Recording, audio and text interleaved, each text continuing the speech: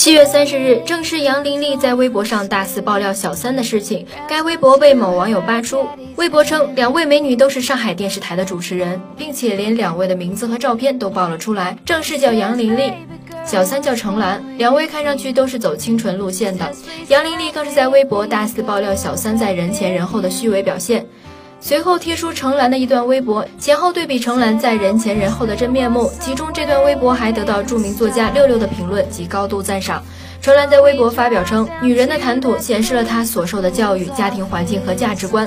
六六也对这段评论做出高度赞赏，称这样的姑娘是怎样的娘教育出来的呀？这样的女子以后能嫁什么样的男人啊？怎样教会女儿还是母亲的必修课。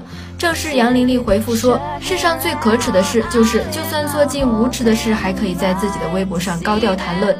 女人的谈吐作风显示了所受的教育、家庭环境和价值观的女人。